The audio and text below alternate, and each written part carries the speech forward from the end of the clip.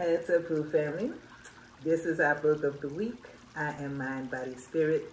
It is my most recent children's book, okay?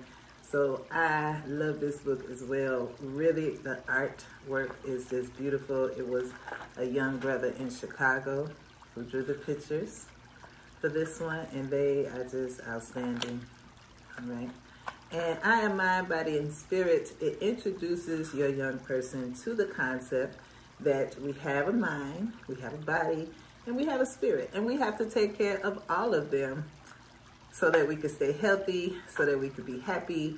Um, and it just gives, you know, it's an early reader. So it's very simple, easy to read.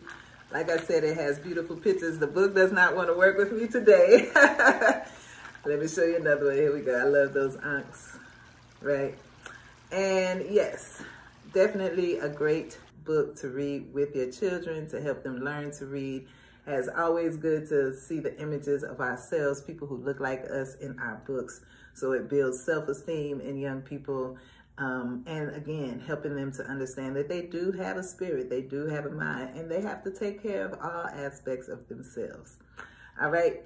You can get this book on Amazon and also on RaSekhiStore.com.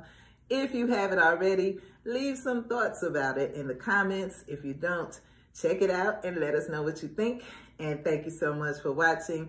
Like and share the video. Until the next time, Ankh Udja.